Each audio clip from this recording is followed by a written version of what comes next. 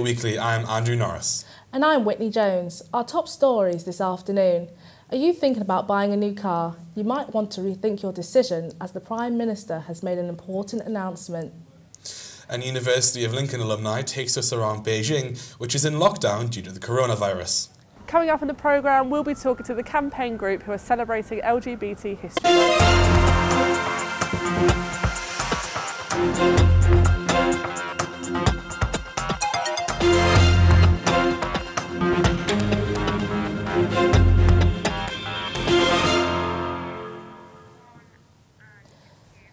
Top story this afternoon on LSJ Weekly. We all know climate change is a serious topic and governments around the world have been meeting to debate how to reduce the world's emissions. But what effect will this have on normal people? Well, I went to a local car dealer to explain the proposed changes. Every year, the UN hosts an event dedicated to talking about climate change. This year's event, COP26, was held in Glasgow on Tuesday, and Boris Johnson made a very surprising announcement. He promised that the UK would ban sales of new petrol, diesel and hybrid cars by 2035, some five years earlier than the previously announced rule by Theresa May in 2017. The surprising part about the new ban is that hybrid cars will also now be banned under the new legislation, meaning that customers will only be able to choose from cars powered by electricity or hydrogen. But why have the government decided to ban petrol, diesel and now hybrid cars? The answer can be found in the amount of pollution created by traditional vehicles powered by internal combustion. Both petrol and diesel engines produce the harmful gas nitrogen oxide, which can cause serious respiratory issues in high concentrations. Diesel powered cars produce the most nitrogen oxide emissions, and they usually offer lower outright performance but better fuel economy. Next up are petrol engines, which traditionally give better performance but have lower nitrogen oxide emissions and lower fuel economy. Hybrid cars were designed to bridge the gap between petrol and diesel engines by adding a battery and electric motor to petrol engines in order to provide better fuel economy and therefore lower emissions. So with hydrogen and battery powered cars looking to become the new normal, I've come to a car dealership in Lincoln to find out about electric cars. Well, I've, I've been a driver of an electric car for a couple of years now. Uh, I've been on quite long journeys on the, with them, uh, had to charge at rapid charges at motorway services and things like that. And I love them, I think they're brilliant. Um, I find that um, it's just easier to just get out of the house and go. Electric cars can use two forms of propulsion to power their electric motor. Hydrogen cars use a chemical reaction between hydrogen and oxygen, and as a result, the only emission is water. Meanwhile, the most commonly known form of electric car is a battery-powered car like this Leaf. These use battery packs mounted on the floor to power the electric motor, meaning that there aren't any emissions produced by the car itself. So we've been told that the future is in electric cars, but can the UK's grid cope with the incoming wave of electricity? Statistics from the Department of Transport show that by October last year, there were only 30 charging stations in Lincoln, and only two of those were fast chargers, despite last year, sales of electric cars increasing by over 200%. And while electric cars may not produce any emissions on the road, they rely on heavily polluting power stations and use batteries, including cobalt, which is a heavily mined resource. So is the future of electric cars really as green as we've been promised? Andrew Norris, LSJ Weekly. An update on the new coronavirus outbreak now. A former University of Lincoln student has been in quarantine for 14 days. He spoke to our reporter Sammy Ramsbottom from Beijing, which is on lockdown due to the outbreak. This view is the first thing I see every morning when I wake up, and um, it has been for the last 14 days. Only on a handful of occasions have I actually stepped outside, uh, either to go to the supermarket, uh, take the trash out, or uh, go to the main gates at the south side of my building complex to pick up something as none of the delivery guys, whether it be food delivery or package deliveries, are allowed in the complex whatsoever. When going out, the government advises that you wear a mask. So uh, this is the one that I've gone with. Um, surgical masks are fine because uh, the biggest and most important thing you have to avoid is germs. This is no different from any other flu. So as you can see, there's always a guard. Nobody who isn't allowed in can't come in. And uh, as you step outside, you'll see most of the doors are quite closed and you've got your guards here. There have been more than 28,000 cases of the coronavirus, and only 274 are in Beijing, which has a population of 21.5 million. This picture shows stats from across China. The red is confirmed cases, yellow is suspected, green is recovered, and black is dead. The mortality rate, however, is as low as 0.2%. I spoke to Mehmet over Skype about his thoughts on the Western media's coverage of the virus. With the Western media, I noticed recently that whenever I read any article in the Western media, it was always using hedging language, as in, oh, it's believed to be, or it could be, or it has the potential to be. But I don't want to know what it could be or has the potential to be. I want to know what it is. And that's how a lot of Western media outlets are portraying this virus by telling people what it could be so that they can over exaggerate the numbers. Sammy Ramsbottom, LSJ News. That was our reporter Sammy Ramsbottom talking to Mehmet Doden in China. And now the government has announced a new £50 million fund for electric buses in cities around the UK. Local councils like Lincoln are now able to bid for the funding to help pay for buses. The government wants all public transport vehicles in the UK to be electric by 2025. And a mental health service in Lincoln has been saved from closure by a grant of £185,000 from the National Lottery in celebration of its 34th birthday.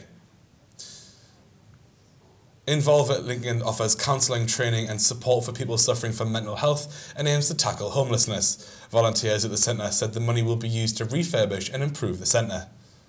£60,000 is going to the purchase of the building, £45,000 is going to the renovation of the building, and £80,000 is going to core costs.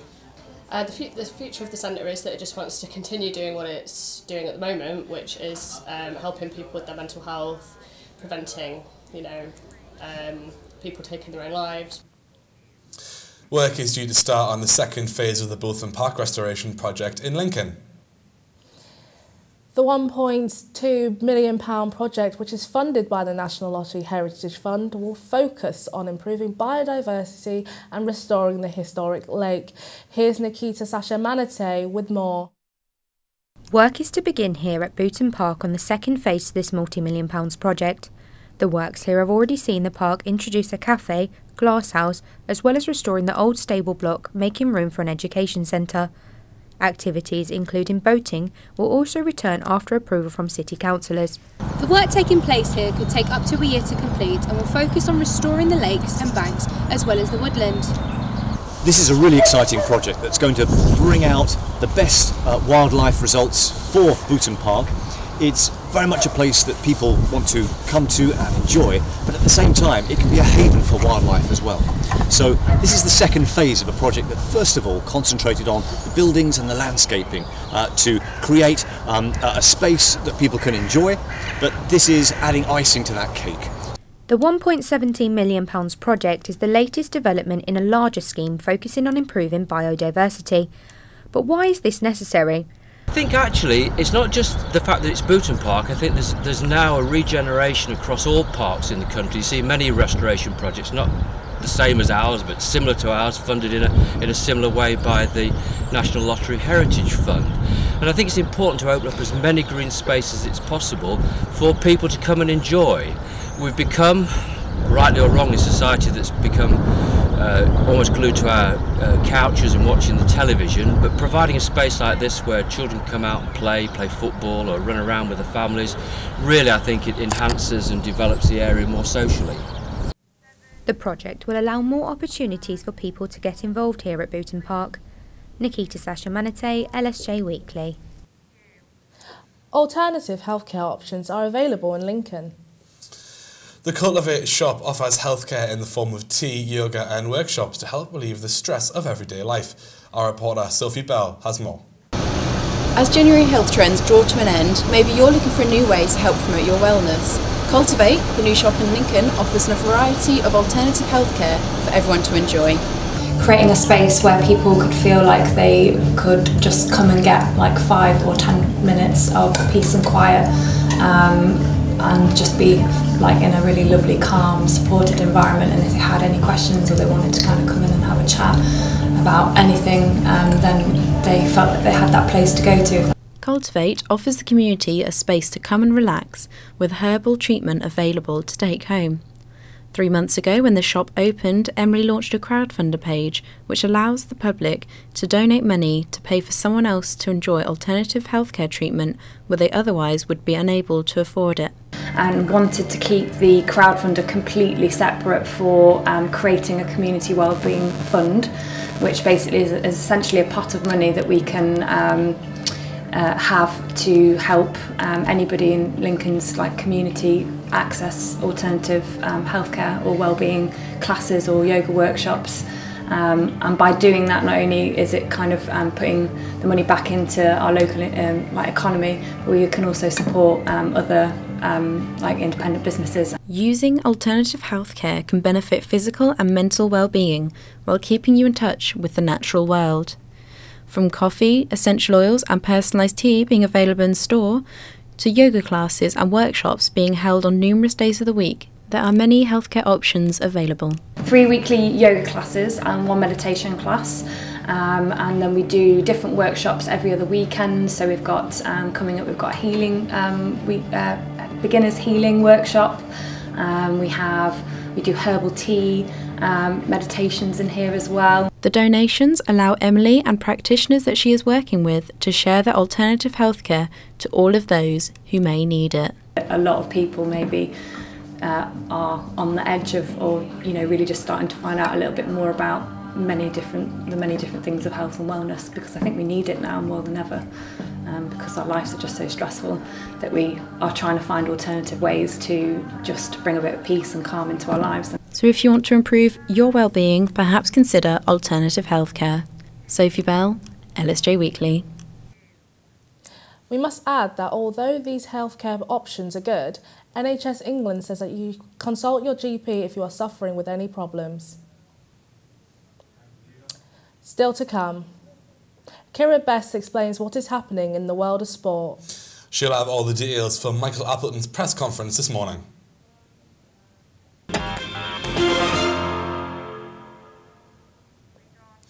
And the High Street in Lincoln is getting a makeover. Lincoln Business Improvement Group wardens have started removing chewing gum from the street. The group has invested £8,000 this year to complete the work. Carter Jones reports. This is the usual scene on Lincoln High Street during the day. People going about their everyday lives, doing their shopping, meeting up with friends. But this is what it looks like at 6 o'clock in the morning. Maintenance workers starting their shifts to ensure the high street is ready for the busy day ahead. Lincoln Business Improvement Group have started their clean-up of the high street from chewing gum that is left by people who use the streets every day. They're using a so-called gum buster to remove thousands of pieces of dried gum that is on the streets of Lincoln. The machine uses detergent and steam and can remove up to 700 pieces of gum per hour. Yeah, the, the gum machine uh, is a vital piece of equipment at the moment. Um, the high street over the years has got inundated with chewing gum. Um, a lot of people still eat it.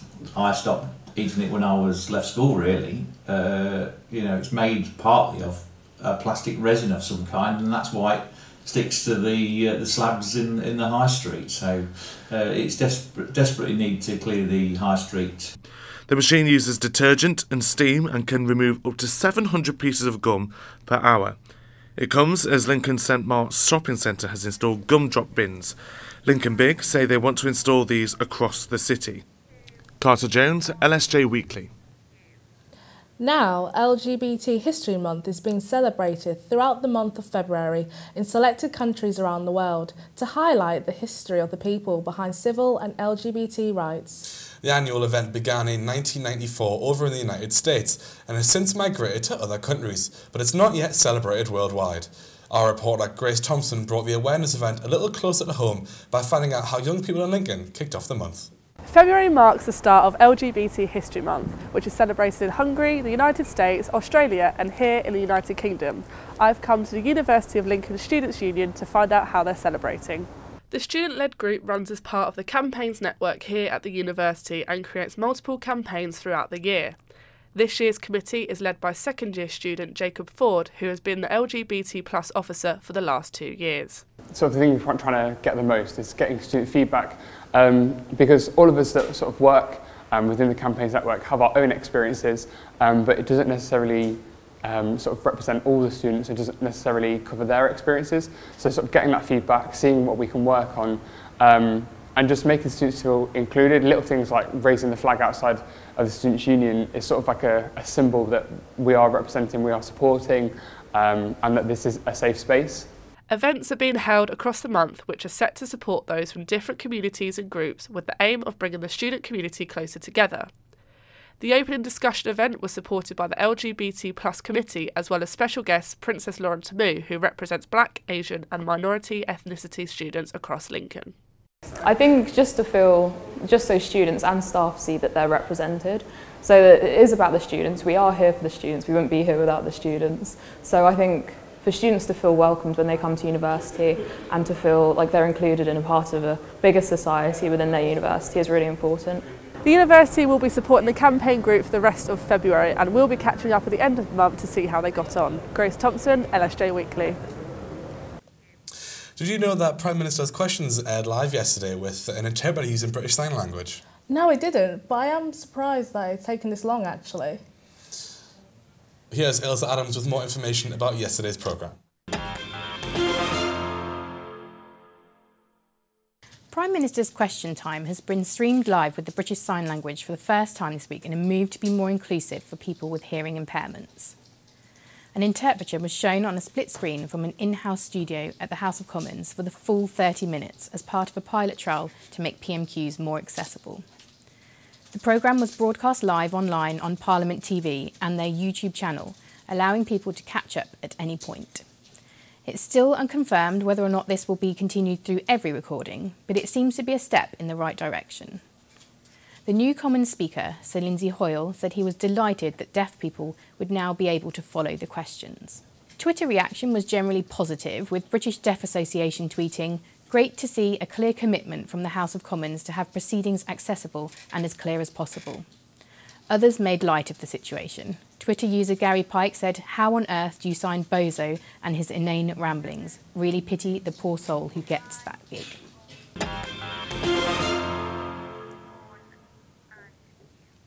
Ailsa Adams there. Ahead of tomorrow's match, Lincoln City manager Michael Appleton has been given a press conference. Here's Kira Best with all the sport. In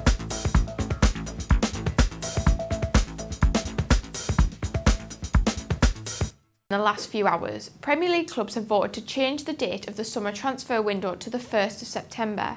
This is to fall in line with other major European leagues. Now here in Lincoln we have an action-packed weekend of sport. Lincoln City manager Michael Appleton says his team are still a long way from where he wants them to be as they prepare for their Friday night fixture against Rotherham. Despite a busy transfer window, Appleton hopes by this time next year his side will have improved.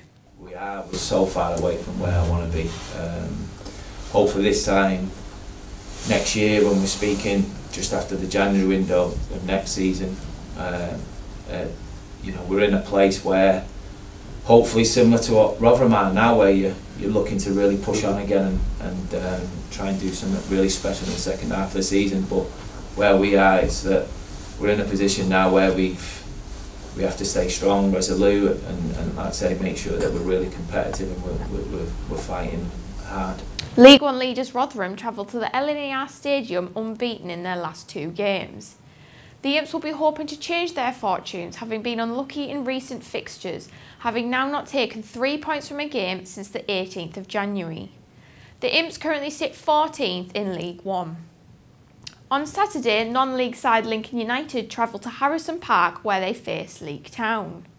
Leek Town currently sit at the top of the Northern South East Division with the Whites sitting towards the bottom of the table in 16th. The Staffordshire side will be a tough opponent for United with them having won all of their last five matches with the Whites only having won two. Lincoln City women are also away from home this weekend, travelling to Boldmere St Michael's on Sunday where they will face Birmingham and West Midlands. The Imps are currently fifth in Midlands Division 1 with their rivals on Sunday five points above them in second. And in hockey, both Lindum Hockey men's and ladies first team are in action on Saturday. The men's team are at home to Ben Rhydding with the ladies first team travelling to Wilmslow. The ladies will be looking for a win after having not won their last two fixtures. The men will be also looking for a win after losing their last match to Chester last Saturday.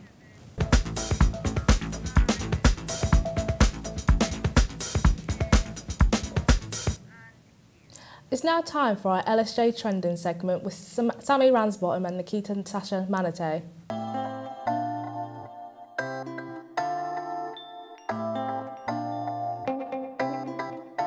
Social media has been booming from pizzas to red carpets, and we're here to give you the lowdown on what's been happening for the last seven days. Twitter was obsessed with the BAFTAs red carpet this year, spotting the poshest frocks and dapper suits and discussing acceptance speeches from the winners. One speech which hit the headlines as well as the Explore page was Joaquin Phoenix's acceptance speech after winning Best Actor at this year's awards. He mentioned, I have to say that I also feel conflicted because so many of my fellow actors that are deserving don't have the same privilege. One Twitter user said, Wow, I was not expecting that from Joaquin Phoenix, but this needed to be said. Another user tweeted their thoughts saying, Thank you, Joaquin Phoenix, for pointing out the elephant in the room. Calling all the chicken and pizza lovers, have you heard of the latest collaboration with Pizza Hut and KFC? Well, the KFC popcorn chicken pizza was released earlier this week and is a thing of morning after night out dreams. But it wasn't as well received as it was hoped. One user rated it a 4 out of 10 and said, edible, but won't order again. And in Lincoln, one of the members of the public posted in a local Facebook group saying that it wasn't the one for them and was offering to half, sell half of it to anyone who wanted it. Bringing back the trends to something more local, um, we spotted these friendly faces under the hashtag Lincolnshire. German, Re- German Shepherd Rescue are looking for people to foster in the area. You can see different dogs who are looking for their forever home, including Dylan and Bailey. Check out their Twitter page at GS Rescue Elite. For more information or to look at cute dogs, it's up to you. Oh. and finally, did you see this making the rounds on Facebook? People are deciding to put butter into their coffees in order to increase their metabolism. Now, I know that butter and milk are in the same food group, but is this really necessary? However, you can't use just any old butter. It has to be grass fed, unsalted butter to reach the full effect. Now, I don't know about you, but I don't think I'm going to be trying this anytime soon. Oh, or me. and that's all from this week on LSJ Trending. What's been happening with you on social media? If you want your social media moments to be featured on next week's episode, just use the hashtag LSJ Weekly. Now back to you in the studio.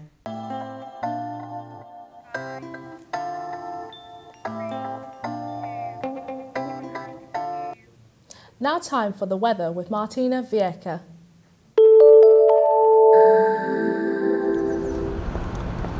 This morning across this country there was some sunshine and light wind with fog patches lurking around.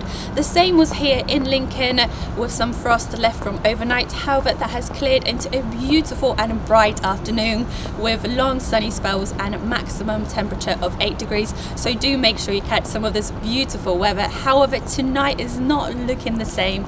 There will be some frost and minimum temperature of 0 degrees. So do make sure you wrap up warm if you're planning to go out. Um, tomorrow morning will be another beautiful and a dry day with some sunny spells. However, in the afternoon you might see some, it might become a little bit cloudy with maximum temperature of 8 degrees. Arriving into the weekend will be Storm Ciara with some strong rain and strong gusts of wind reaching as high as 80 miles per hour.